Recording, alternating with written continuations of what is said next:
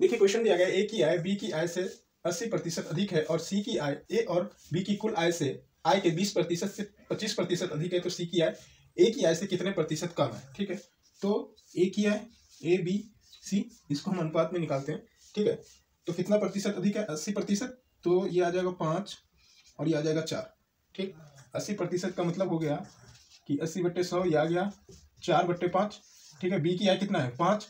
तो ए की आय कितना? अस्सी प्रतिशत अधिक है, अधिक का मतलब ये आ जाएगा चार और पाँच, नौ। ठीक है? सी की आय क्या बोला है? ए और बी की कुल आय। ए और बी की कुल आय क्या हो जाएगा? चौदह।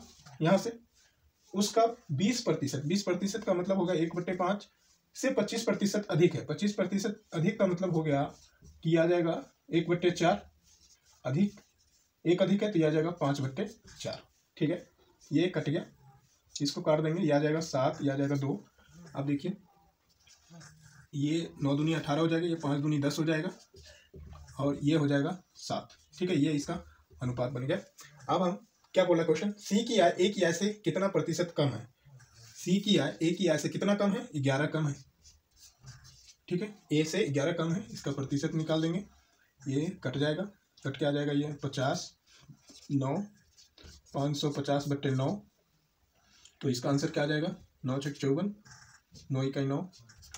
सिक्सटी वन पॉइंट वन इसका आंसर आ जाएगा। ठीक है?